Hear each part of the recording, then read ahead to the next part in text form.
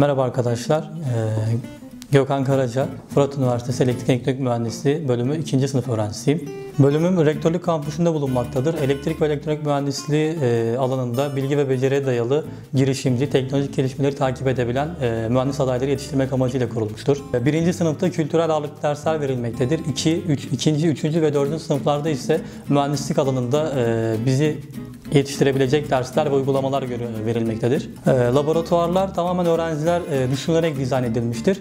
E, güvenilir, hızlı ve pratik bir şekilde deneylerimizi gerçekleş e, deneylerimizi deney setlerinde gerçekleştirmekteyiz. Uygulamalı eğitim ve öğretime dayalı bir fakültede okumak, bölümde okumaktayım.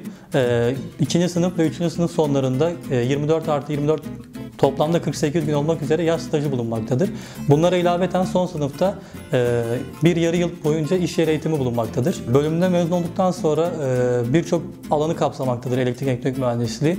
Robotik sistemler, e, otomasyon sistemleri, e, tıbbi malzemeleri oluşturulduğu, yani yapıldığı alanlar, havalimanı, havalimanı, birçok e, elektrik elektronik dayalı fabrikalarda e, iş bulma imkanımız vardır. Elektrik elektronik mühendisliği benim e, uzun yıllardır hayalimde olan bir meslekti. Küçüklüğümden beri istediğim bir meslekti.